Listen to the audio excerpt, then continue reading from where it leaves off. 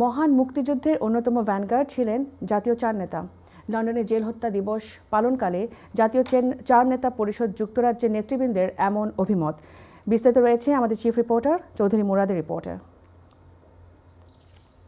তিন November jail হত্যা দিবস উপলক্ষে লন্ডনে এক সভায় জাতীয় চার নেতা পরিষদের যুক্তরাজ্য ও সতীর্থ আওয়ামী লীগ নেতৃবৃন্দ জাতীয় চার নেতাকে মহান মুক্তিযুদ্ধের অন্যতম ভ্যানগার্ড উল্লেখ করে বলেন, জেল হত্যা ইতিহাসের এক কলঙ্কজনক অধ্যায়। মুক্তিযুদ্ধকালে চোদ্দ ডিসেম্বর বুদ্ধিজীবী হত্যাকাণ্ড, পনেরো আগস্টে বঙ্গবন্ধুকে সপরিবারে হত্যা, তিন নভেম্বর জেল হত্যা, একুশ আগস্টের গ্রেনেড হামলা একই সূত্রে গাথা একাত্তর সনে আমাদের মহান স্বাধীনতা সংগ্রাম পরিচালনা করেছিলেন। এদেরকে যদি হত্যা না করি, তাহলে আমাদের বঙ্গবন্ধুকে হত্যা করা এইখানে ফলপ্রসূ হবে না। এরই ধারাবাহিকতায় এই জাতীয় সাইড নেতাকে হত্যা করা হয়েছে। বঙ্গবন্ধুকে হত্যা করে তেসরা নভেম্বর জাতীয় চার নেতাকে হত্যা করার মধ্য দিয়েই তারা চেয়েছিল, এই দেশটাকে আবার পাকিস্তানি কায়দায় প্রতিষ্ঠিত করব।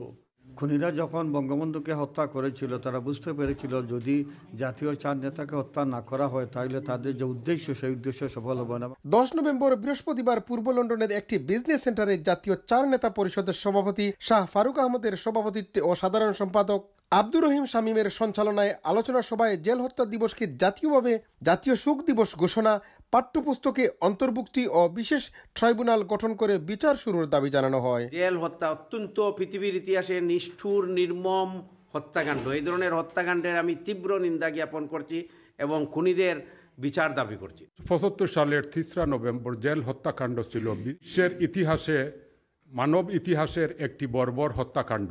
তারা যা চেয়েছিল, বঙ্গবন্ধু হত্যা করেছে কিন্তু তার আদর্শকে হত্যা করতে পারে নাই। তার আদর্শের হাজারো লাখো কুটি কর্মীরা তার সেই স্বপ্নকে বাস্তবায়ন করার জন্য আজও কাজ করে যাচ্ছে। উনিশশো পঁচাত্তর সালে তেসরা নভেম্বর হলো শোকাবহ জেল হত্যা দিবস।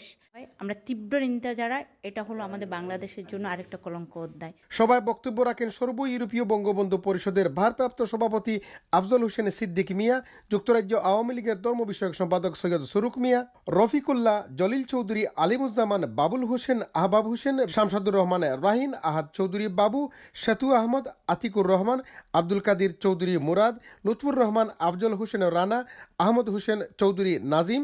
আলতাফ হোসেন চৌধুরী, আঙ্গুর আলী, সেলিনা আক্তার জোসনা, আসমা আলম, মাসুমা আক্তার, আলিম আহমদ, মুজাহিদ আহমদ লিটন, মাহমুদুল হাসান, আব্দুল বাসির, দিলাল আহমদ, আব্দুল খালিক রিন্টু, আনোয়ার খান, জিয়াউদ্দিন আলী আজগর কাদেরি, আনোয়ার সিদ্দিকী ও আরও অনেকে। Chowdhury Murad IN TV news, London.